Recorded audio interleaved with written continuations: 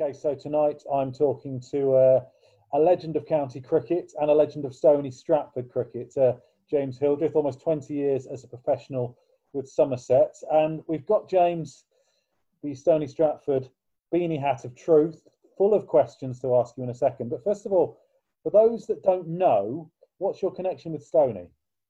Uh, well, I was uh, born there really. So I was uh, born in born in Milton Keynes, uh, raised in in Stony. My parents still live in in Calverton, uh, and really kind of started started my life there. Uh, my first first house was in Bletchley. Then we quickly moved to St Paul's Court in the High Street, um, where I'd kind of jump over the wall and go to the tennis club and the cricket club and, and, and play football for Stony as well. So and we moved we moved house again in within Stony. So um, really, my life started there, and my sport sports started there as well. And then um, and uh, like I said, my you know my parents are still there, and my dad's still involved in the club and goes down quite quite often to the, the club as well. So um, so yeah, strong strong ties to to Stony. Played played some um, age group stuff, uh, cricket, um, and and at the football club as well. So yeah, wonderful memories of starting my my sporting career at Stony.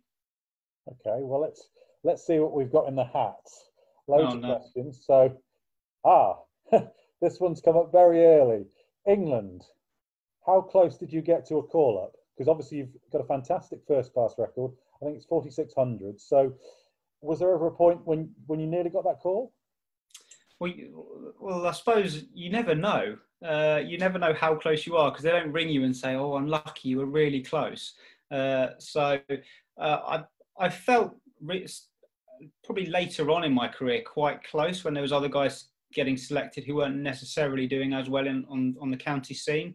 Uh, but when I was probably playing my best cricket in my mid mid to late twenties, England were number one in the world. They had you know your Pietersens, your Bells, Strauss, Cooks, Flintoffs, those kind of guys, and um, you, are struggling to get in that team, however well you do. So I think there was uh, I was I was quite aware of how good England were at that stage, and you can only try and knock on the door and get some runs uh, domestically, but really there were no opportunities uh, depending on if someone got injured or not. So there wasn't much, but uh, I guess you tend to get better the, the longer you don't play. So it's um, my stats would suggest you know there's people getting selected now. So Dan Dan Lawrence in this Sri Lanka series averaging 38 with the bat. So you you look people look now and think well your your stats probably warrant a place, but at the times when they're selecting squads, uh, I probably didn't justify a place compared to the other guys that were getting selected at the time? Does it? I mean, I, I looked at your Lions record as well. I think it's eight games you played for Lions. You got a couple of hundreds, average 50 odd. Do you look back and feel frustrated you didn't get that call? Not really. I mean, it's I'm probably the only bloke in that Lions team that I play that didn't play for England, which is which is um, which is I suppose quite frustrated, but not not really. I mean, I, you can't live your life like that. I don't think. I think I might look back when I finish playing in 20 years' time and go, "God, I, I should have had a chance, or I wish I did." But at the moment, while I'm while I'm still kind of clinging on to a career, I, I, I don't think I can can really um, look look back like that. I think that the, the the thing for me now is trying to still find that motivation when the England stuff's done. Um, that's that's my my biggest thing, and how can I how can I have those goals now? Um, and what goals can I set myself that will keep me motivated to play domestic cricket? Because you know, as a kid, all you want to do is play for England, and and at the start of my career, that's all I wanted to do. So that's what that's what your focus is. Every time you go into the nets, you're thinking, right, how can I oust the guys that are playing for England and score score more heavily than them? So um, I, I guess you've always got to have something to focus on to try and um, keep your career going and keep pushing yourself. So I guess that's where my focus is now, and it's it's probably when I finish playing in, in ten years that I'll look back and probably maybe with a bit of frustration that I didn't get a chance when I've when I've um, seen other guys that have been given it. Okay, well let's let's delve back into that and see what else we can come up with. Uh, so this one, ah, this this is going back to the, the start of your career, and again the wonderful Cricket Archive site has helped me with my research on this. Under 19 World Cup England got to the semis, and I think you top scored in the semi final or, or, or, did pretty well. Looking at the team from that day, seven of the guys ended up playing, I think, international cricket, including Sir Alastair Cook. is there anyone in that team that you thought that would make it that didn't? Or putting that question the other way around, anyone that you were really quite surprised with the progress they made after the under 19 series? Not really. I mean, to be honest, by that stage, you're probably playing county cricket. You've got a pretty good idea about how good some of these guys are. So I was looking at some guys there, the Ravi Boparas, Samit Patel, Luke Wright, um, Alastair Cook, and going, God, these guys, you know, they, have got massive potential. They could easily go on. Um, the, England under 19s team is usually a good breeding ground for, for the full England team. So you see, see a lot of guys going from that under 19 um, someone like uh, Cookie, he almost went straight in, you know, from that England under 19 team and, and being captain and doing really well in that. It wasn't long before he was then playing Test cricket. So um, I was probably surprised at the speed he went went in at Test cricket, but you know, not surprised at all with how well he's done. He, unbelievable player, and um, you're looking at the raw talent of Ravi and Samit, and just thinking these guys just yeah they look they look brilliant, and I'm I'm not surprised at all that a lot of them went on to play you know for the full full side. Uh, I can't think. There was a guy, I think, a bowler there within the squad called David Stiff, who would bowled absolute rockets at the time, under 19s. Had a county career as well, but you know had all the attributes: tall, fast, bowled rapid to, to go on and play at the highest level. So uh, maybe not surprised. I was probably a bit disappointed he didn't necessarily go on and reach the heights that I think a lot of us thought he could. Okay, uh, right. Back into the hats. Okay, hopefully this will be watched by lots of people, including a lot of our young players. And obviously, as you know, Stony has. I mean, I think I saw you last season walking around Campbell for a third team game, so you probably saw some of the young players that we've got at the club. If you had one piece of advice for those guys and girls watching, what would it be?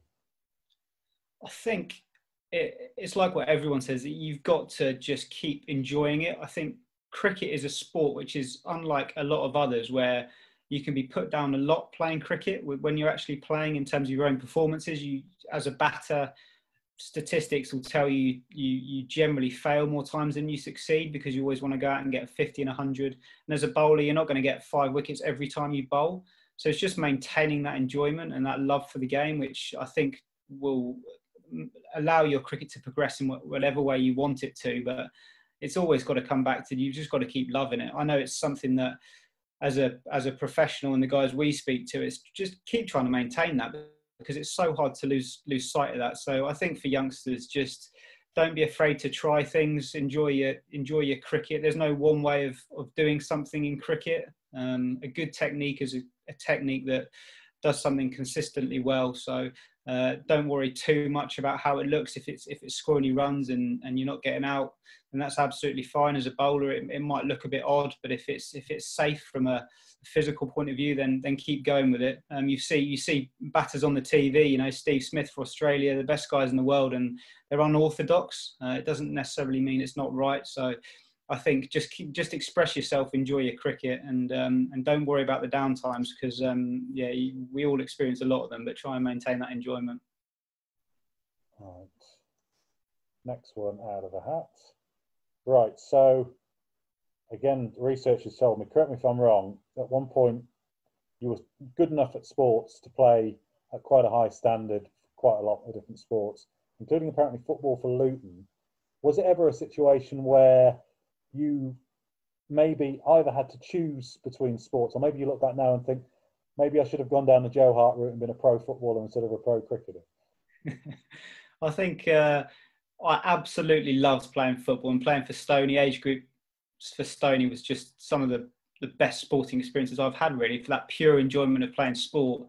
And I absolutely loved it. And yeah, played, you know, age group Luton Town stuff, which which was great fun. I think how my life panned out is that um, I went to boarding school in Somerset, where I am now. So that's that's how I've ended up in, in Somerset. And I, I came down here when I was uh, 10. So I think when I went to the school I did, I got the opportunity to play lots of sports. And naturally, because um, of different terms and different sports you play, I started, I, I guess, progressing more at cricket. Um, hockey was a sport that I played quite a lot, but I didn't personally see a future in it. Um, I didn't see how I'd go off and, and make lots of money and, and, pay the bills playing hockey. So I, cricket naturally kind of um, came to the forefront. I think I went to a school where I played football and, and played a lot of football, but actually, if you want to make it in football, then you probably need to go down a different route to the one I did. So um, I think that was probably off the cards quite quickly. And cricket was one of those that I've, I've always loved playing cricket. So summer sport and did okay at it. It's actually quite a how I progressed was in quite a simple way. You play for your county age group and, and just work your way up and, and you're in the system then and you're getting identified by coaches and it's a natural progression to uh, to the top really. So um, it, was, it was probably a natural I, I, there was never a point where I just thought I've got to pick one sport over the other. I think cricket just started uh, excelling more than any others. All right. Give it a bit of a shake and see what comes out this time. Ah this is one that's come from a lot of people and you know, you, you talked earlier on about not wanting to give up the county game just yet. But I know, I think you've played third team cricket for us. And I, I know people like Jamie Baxter, first team skipper at the moment, are asking, is there ever going to come a day when we're going to see you putting on a, a first team shirt for Stony? I hope so. I, do you know what? I'd absolutely love to. Uh, you know, I've still still come back to Stony all the time. You know, I've seen seen all the youngsters on a Friday night, and um, fingers crossed we can all get back to those times again. So, uh, you know, I've I've got a couple of years left playing, I think, um, professionally, and then after that, I would, you know, I'd absolutely love to bring back so many great memories. My dad played for Stony for for years, wicketkeeper for the, the first team. So, um, yeah, to to have a game for Stony with with your old man watching, that would be that would be pretty special, I reckon. I think there's a question about it in the hat, but I'll ask it while I think about it. I think you've only got one year left on your contract at Somerset. Correct me if I'm wrong on that one. Uh, but obviously, you've got former teammates like Marcus Trescothick who carried on playing for quite some time. Do you know at this point when the end point is going to come for you, or are you still keen to play for a few more years? Well, I've just I've just signed a one year extension, so uh, I'll have this summer and next summer, and beyond then, I mean, it's kind of I, I got injured last year, so the body I don't know if the, what the body's starting to say to me. Um, you need to be scoring runs. We've got a lot of really, really good young players that are performing well and started performing in first team. So you, I'm going to be under the pump as well from from the youngsters. So you just can't look too far ahead. But I've got a couple of seasons left. I'll be 38 then. So um, yeah, I think that's probably a, a pretty good time to to try and work out what I'm going to do next. So we'll just pencil you in for 2023, first game of the yeah. season in the Northants Cricket League for our first thing. right. Now, this this goes back to what you said about the younger players, and you know, obviously there's Lammonby who's, who's done pretty well, and Tom Banton is a guy I think we've all seen doing stuff for Somerset in the Blast, and obviously internationally. Do you look at him and think, "Wow, it's almost a different game because of the shots he's playing"? And do you do you find you even at your stage of your career, do you find yourself learning things from him about how he goes about it? Yeah, absolutely. I mean, cricket has just changed dramatically. Basically, during my career, I started at the same time as 2020 in the professional game, really. So, uh, just I've seen the progression of how that format's evolved and the shots that are, that are happening. So, I've kind of had to adapt with the times to, to try and keep up with it, just to just to play in the format. Uh, so that's been fascinating to watch that. But what you have now is is younger guys that are targeting that because that's where all the, the kind of glamour is. So you have some youngsters coming onto the scene now who who probably don't think too much about red ball cricket. They want to be playing in the IPLs, the big bashes, earning their millions of dollars, and I, I can't blame them at all. But yeah, what you see is is is guys coming in playing the most ridiculous shots. I mean, Tom Banton reverse sweeping, you know, 90 mile an hour bowler over point for six, and you're thinking, yeah, this is the game has changed here. I'd be trying to nudge that down to third man for one, hoping it beats third man. But it's it's brilliant, you know. It's the way cricket's going. We've got the uh, the hundred, which I know is controversial, but but next year, so uh, cricket has to adapt, and uh, it's been fascinating watching it as well. I mean, when when 2020 first started, it was it was gimmicky. It was, you know, nicknames on the back of your shirt and have a massive slog, and no one really cared about it, and just no one realised actually the influence that's going to have on the rest of the game. You're seeing guys coming through 2020 and then going on to play Test cricket like a David Warner without playing many first class games at all. So the the roots in are different now, whereas before it was you'd play your Test cricket, work your way, and then you'd play in the one day team, and there wasn't any 2020 cricket. Now you can get into the Test team by slogging it in, in 2020 cricket. Like, so it's it's fascinating how cricket's changed, um, and hopefully it, it, keeps evolving. You know, we all want to we all want to see it. I'm I'm a purist at heart. I love red ball cricket and batting for long periods of time. And you speak to any professional cricketer, they'll still say uh, the longer formats and red ball cricket is is without shadow of a doubt the hardest format to play. Um, so uh, we we all know that, but people it's getting new audiences and people want to see sixes and, and wickets and boundaries, and yeah, that, that's also great. Do you ever think in a way that you wish you were starting perhaps now and you could maybe get a piece of the franchise cricket yourself? Yeah, I mean, I, I, I think I would approach it differently if I started now. I, I definitely have an eye on that. You know, a little thing like I'd probably get an agent early on just because they can they've got influence with those kind of tournaments. I, don't put myself in those tournaments, but I'd be putting myself in straight away when I was a youngster, uh, making a scene on in, on the domestic circuit. I was just so um, kind of passionate about trying to play well in red ball cricket and score hundreds. I think guys now are thinking, right, this is we're playing 2020 cricket or one day game. We're on TV. The sky cameras are here if I can if I can have an impact here, this can fast track me to to playing um, high levels and, and earning lots of money. So I think if I started now, I, I wouldn't be able to help but have an eye on that because someone like Tom Banton, who's 19, 20 years old or whatever he is, he you know he's going off to the PSL, the Big Bash, the IPL, playing for England.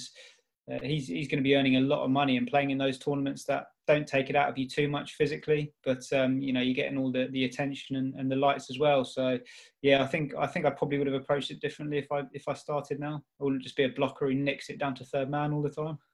As someone who does that for Stoney's third team, there's no problem in that sort of approach. Now I know there's a question in the hat somewhere about this, but as we're talking about it, the hundred, what are your thoughts on it? So I I struggle with it a little bit because of how well our 2020 product is. I think it works. So why jeopardize that? Um, the argument around getting new audiences in, I can't see how someone would think, I'll go and watch a 100 ball game, but I've got no interest in 2020. It's just far too different to the 100 ball. Uh, so, but then if I if I take a step back and if we want to get more money into cricket and um, if it wants to be seen on on TV more and on you know BBC, then that's a good thing if we can get more exposure to cricket and more people into it, and maybe getting it over to the other countries and Olympics and where people want to take cricket. Then it then it's got to be a good thing bringing in new sponsors. Um, I I don't think we need four formats. I think it's it's quite tricky to get all of that into a, a domestic season next season with the the hundred ball is at the same time as a fifty over competition. So when I'm playing in the fifty over competition, you know there'll be the standard will be lower. There'll be second team players playing, and I'm I'm, I'm not a big fan of that. Um, but yeah, it's, it, I mean, I suppose I'm sitting on the fence here. Ultimately, it's hopefully it's bringing in some more money and more exposure into cricket, which is a good thing. Do I like it as a, a format? Obviously, never seen it, but at the moment, I'd probably say no. I, I, I like 2020, and I, I, like the three formats that we had before that. So um, I'm going to have to be persuaded for it to to be a success. Have you had a chance to play in it? Because I know there was there was a game a couple of years ago which I think people like Daryl Mitchell were playing. And so, have you even had a chance to sample it? No, we, we were playing a four day game at Notts, and they had their trial games. I think Peter Trego played played for us. Uh, went and had a go in it, and they said it was okay. You know, they were they were all trying to get their heads around it really when they were playing it uh, with the, the, the number of balls in an over. It's not an over, a number of balls each end, and uh, it's just going to take some some working out, I think. So uh, yeah, I think viewing. I mean, they, they don't worry about getting people in the ground. It's not about selling tickets. It's about the audiences and um, well, as you know, getting people watching on TV. That's how they they make their money and, and sell it. So that's what they'll be pushing. Even if there's no one watching it in the grounds, they'll be saying, yeah, but it doesn't matter because we're getting X number of million watching it on TV. So, uh, you know, if, if more people are watching cricket it makes more people passionate about playing cricket and it gets more people into clubs like Stony and other clubs and at that grassroots level, then, then I'm a massive fan of it. Okay, back we go into the hats. Let's see what we've got now. Right. Okay, you, you sort of touched on this earlier on, I think, but if there was one thing from your 20 years or so as a pro that's changed, what would it be? Would it be things like the, the new formats coming in? Yeah, so there's I feel like I've I've my career has changed with the, the times really in terms of I when I started I I had a game up in Durham and I was uh, well I was 12th man for the four day game played the one day game. We went up there and uh, it was right meet in the bar for a beer before the game and we all sat there and had a beer. And if you didn't go they'd be like well what are you doing? This is a team you know team team spirit. Let's go and have a, a beer.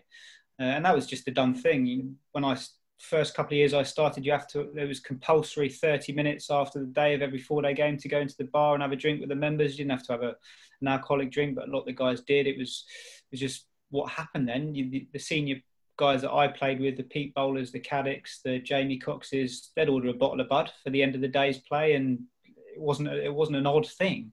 Um, whereas another thing that's changed in cricket massively is, is fitness because of 2020 fitness diet nutrition uh, strength and conditioning coaches. That's that's just changed hugely as well in, in my time from from playing with you know people like Ian Blackwell who wasn't a massive fan of, of all that kind of stuff and just a brilliant bloke but um, that was just the way cricket was back then when I started and then it's um, yeah it's, ch- it's changed a lot so that outside of just playing, that that's that's changed hugely. But obviously, cricket has as well because of what we we've spoken about earlier with all the adaptations of, of white ball cricket. Do you feel because we, we get the same village level where, as you say, twenty years ago after a game, you'd all sit in, in the bar. Obviously, we can't sit in bars at the moment because of COVID. But do you think, you know, sharing the spoils with the opposition after the game, talking things through, that not happening as much now? Do you think that the game's poorer for that? Yeah, I definitely think it's lost something for that. You know, that that socialising after a game, having a beer. You might have had a bit of sledging during the game, but then then settle it and have a beer and just talk about cricket. If ever, if if you love cricket, you like talking about it, and just I think they're pretty special times if you can do that with with the opposition, but with your teammates as well. And um, you know, it's good times. I'm sure. I'm sure people look back on those now who when they used to do that and think, oh, I wish it was still like that. But I d- I don't think it's a cricket thing. I think it's a, a, society thing, cultural thing. Youngsters these days probably drink slightly differently, I guess, and socialise slightly differently than than when I started or you know a few years ago, where it's kind of get in and get out and um, yeah, get get back home. Um, yeah, different pressures, different just lots of different changes in society, not not just cricket. But I definitely think if if people could could hang around in in clubhouses and stay around just for a chat. That you learn, I think, more by just chatting to to people about the game and and then you do actually playing it often because you, you need to you know it's kind of a nice way of reviewing it by by having a drink and just chatting to someone um, rather than just going and, and kind of stewing yourself at, at home. So um, yeah probably probably has lost lost something i reckon. Right this has come, I think, from the WhatsApp group that I'm part of. And it's an interesting one. How do you train yourself to pick up and face 90 mile an hour plus deliveries? Well, you. you or do you just duck? You, do well, yeah, yeah. well, straight away you're going, oh no, oh no. But it's just it's, it's instinct, you know. You, you you practice it in the nets on the bowling machine, or we've got some pretty quick bowlers. We've got we just signed a guy called Marchant de Lange who was at Glamorgan. He bowls 90 plus. Uh, but really, I think the, if you're talking about batting specifics, the secret of batting to me is is not is not thinking. It's having clarity. And um, if you've done the practice and and you're not premeditating what the bowler's going to do as he's running in, you can have some cues that you use which take all that that clutter away which is easy to say, really hard to do, then actually when you face those those 90 mile an hour bowlers as they're running in, the worst thing you could be thinking was, oh my god, this bloke's bowling 90 mile an hour, or I need to duck, or if it's short, play this short, or I'm, I'm going to back away here, or I'm in fear. The, the the best way of playing them, which is so hard to do, is to just to just try and declutter declutter your mind really, and and that you can use whatever cues you want. You know, Tendulkar talks about just thinking about his breathing really he's thinking about his breathing because he's not thinking bloody hell Brett Lee's bowling at me he's going to hit me in the head. He's just that's his focus. So the, yeah the 90 mile an hour bowlers are horrible and they're not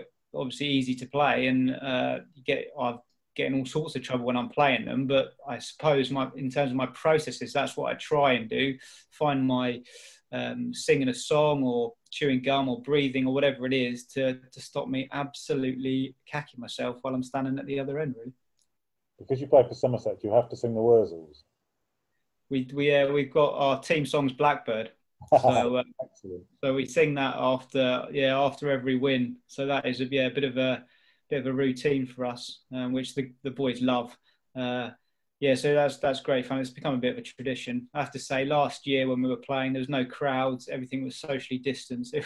It, was the most awkward because normally you, you're in a circle and you're all hugging each other as you know as you as you do, and you're singing a song and having a beer or whatever. But trying to do team songs socially distanced in different sides of the room, all singing and jumping up and down, was probably one of the more, more awkward moments of my life, to be honest with you. Now we'll probably come back to, to COVID and cricket because there's a question on that, but there's also in here somewhere, there's a question, or a couple of questions relating to 90 mile hour bowling. Uh, so I'll combine them now. How, what's the fastest spell of bowling you've ever faced? And sort of similar but different.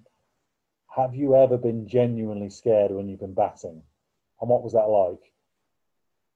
So, to answer the second question, I've never been genuinely scared. Uh, I, I just it just wouldn't it just doesn't work. You just you you've definitely got fear and nerves and anxiety, and they're great. But in terms of being scared, I don't think I've ever been been kind of scared. But those you get certainly get more anxious, more butterflies as the bowler's running in. Uh, yeah, and, and actually that works in your favour. You know, your adrenaline's pumping. You you can you move quicker generally. So.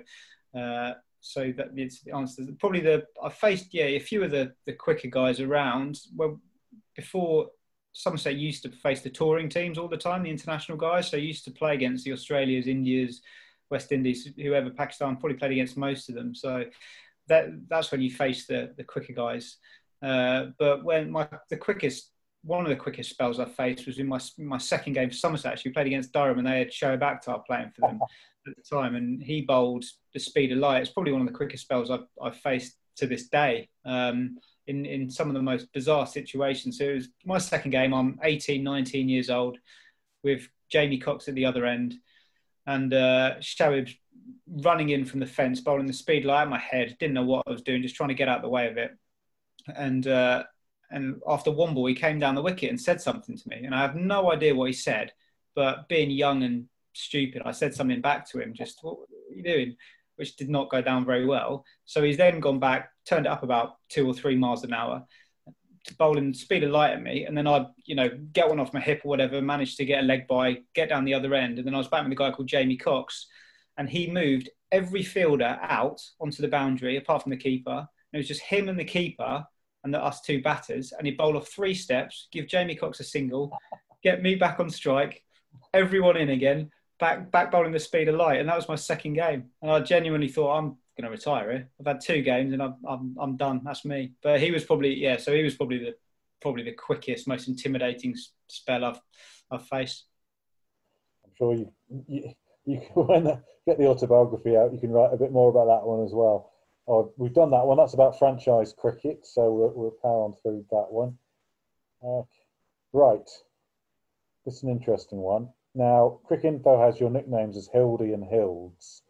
Are there any more dressing room only nicknames that you have that you can share with us, or or would you prefer we just move on? well, g- genuinely, uh, that's it's so boring, but there isn't. I've just been Hildy since I've been about. Well, it was probably my dad was Hilders at Stony. I think he's still Hilders, and I've just been Hildy since I've been ten years old. And it, so that's no one calls me James. I don't respond to James, so it's just it's just Hildy, and I've literally been that ever since. So yeah, I'm that's pretty pretty dull answer, but yeah, there's no there's no like yeah nicknames that I can't share or anything like that. Right, um, we've done that one. That's about the hundred. Um, ah, you might laugh at this one, or you might think, yeah, of course, absolutely. Can we expect at Taunton a James Hildreth stand or something to be named after you in the same way that we've got obviously with Ian Botham and Sir Viv? Or even Surrey I, I doubt it. I don't know. You, you look around the ground and you've got yeah Trescothick, Caddick, Richards, Botham. I'm not sure Hildreth slots along slots along with those. So uh, international cricketers, yeah. So I, I, I, don't think so. I mean, I've yeah yeah, played for the county for a long time, but those guys are, you know, they're proper legends. So um, I, I, wouldn't mind a little bar or something, little little cafe, little coffee shop somewhere. That'd be good. Maybe we'll get one for you down at Stony. Might have answered this one with the Shoaib Akhtar one, but funniest moment on a cricket field? Uh, there's been quite a few. Um, just stupid stuff. I played in a game once where uh, I was fielding at uh, mid off, and there was a guy called Matt Wood and John Francis who were playing, and trying to describe how they basically Matt Wood was at cover to a left-hander, picked the ball up, was just um, sidestepping to throw it into the keeper. Meanwhile, Point had run in front of him, and and Woody threw the ball straight into Point. John Francis' head knocked him out. Sparko. That was that, that was an interesting ten minutes when that happened. They didn't even run or anything. It was just a gentle little little bit of fielding, and he just uh, knocked him out. Well, I guess it happens, doesn't it? Right. Um, we've sort of covered that one. That's about Stony Stratford. This is good. We're making some progress through. Um, okay. Um, you've talked a bit about Tom Banton. I mentioned uh, Lammonby as well. Who's the player to watch, do you think, in county cricket that maybe in two or three years' time will be cheering on playing for England? Uh, I mean, if I look at our place, we've got some yeah, Banton, Lammonby, Bartlett's a good, really good young player for us. We had a guy called uh, Will Smeed who came on the scene in for us in 2020 last year uh, and did well. Looks looks a really good talent. So he's Will Smeed's probably a name to to look out for. Um, the other counties, I'm not sure who they've got coming through really, but um, yeah, probably probably Bartlett, Banton, Smeed. Trying to think, I'll probably left someone out if they see this. I'll be disappointed. any of our youngsters can make it, obviously. Well, of course. 2005 Ashes. Now we know about Gary Pratt's involvement as a subfielder, but I think I'm right in saying you were a subfielder as well. And I think, did you get Ricky Ponting out on a catch? Yeah, I did. Yeah, yeah. That was. Tell us about. Was... Tell us about the whole 2000. Well, just the whole process of being involved in something as serious as big as that.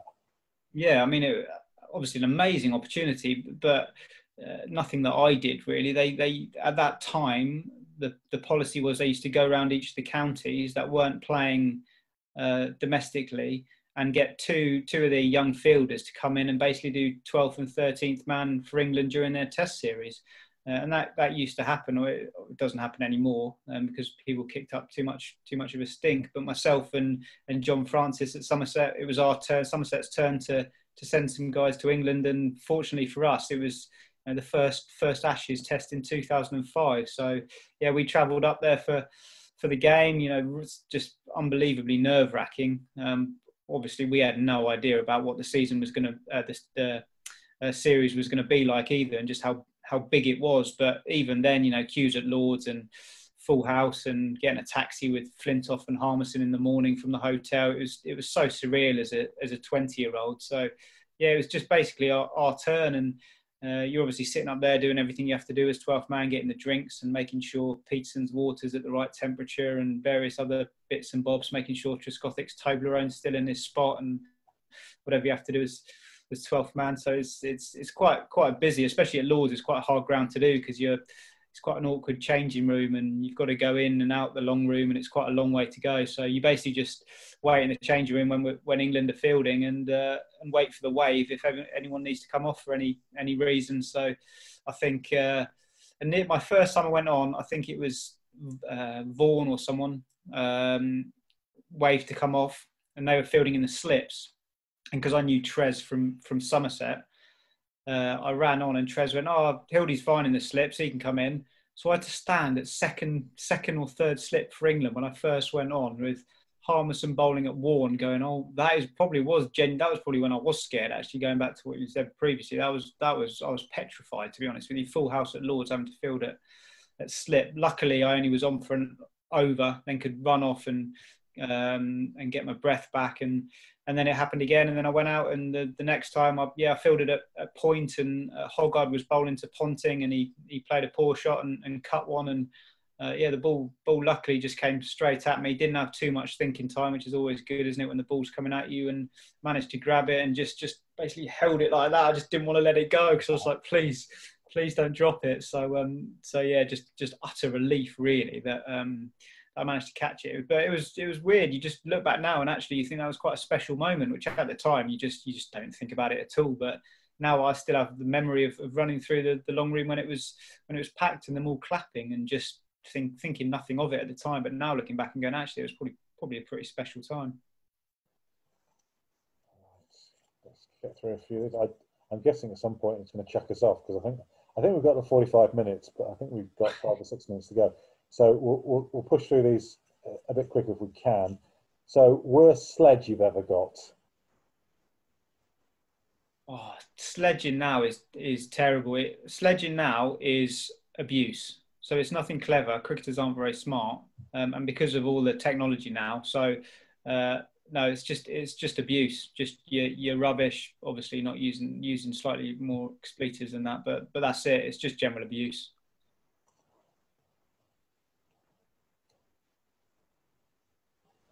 Okay, lockdown cricket, and also just your experiences of that last year, Bob Willis Trophy and everything like that. And on lockdown, what was the worst habit that you picked up? It doesn't have to be cricket related. Well, I don't know. It's a good question. I, I don't think I can answer that. Worst habit? I don't know. I don't think I picked up any habits. Got, oh, got that's, that's, absolutely fine. Um, okay. Three kids to look after. I didn't have time to pick up any habits. So, okay, 2020 cricket then, with the lockdown and stuff, was it? I mean, we obviously played it at village level and we were doing the old touching the elbows and things. What was that like as a professional? Because obviously you guys were you on furlough for a while as well? Was it was it? Yeah. Presumably 2020 was a very weird experience. Although by the end it got a bit better for Somerset getting to the final at least.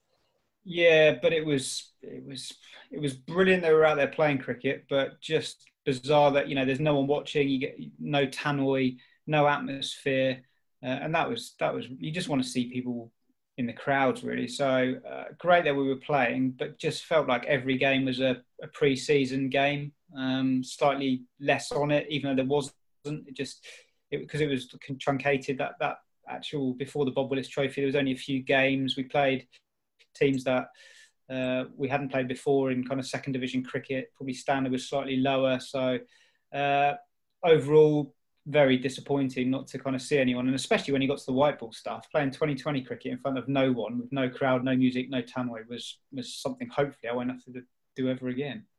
I think you still stuffed my county Worcestershire in the blast, though, from memory. um, this is going back to something we talked about really at the start, England, and you see quite a lot of players, and certainly quite a few that have left Worcestershire in search of an international call up, feeling they've got to go to a quote unquote bigger bigger county, a test match nation. Was that ever anything that you thought about?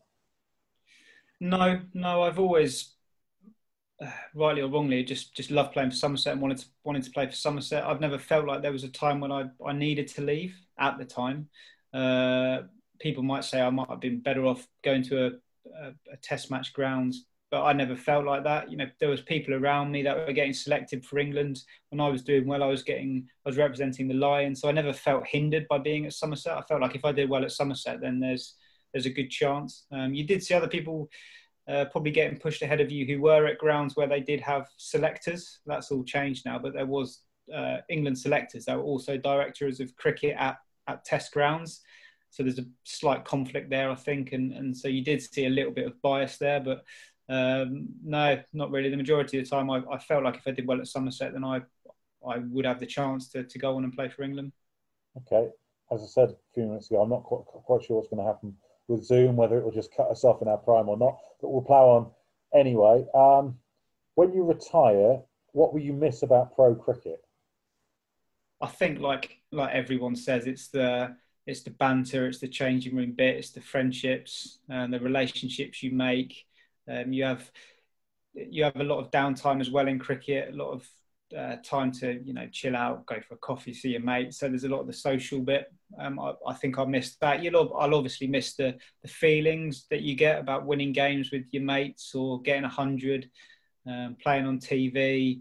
Um, so I suppose the obvious things, you know. So yeah, that, that that's what I'll miss.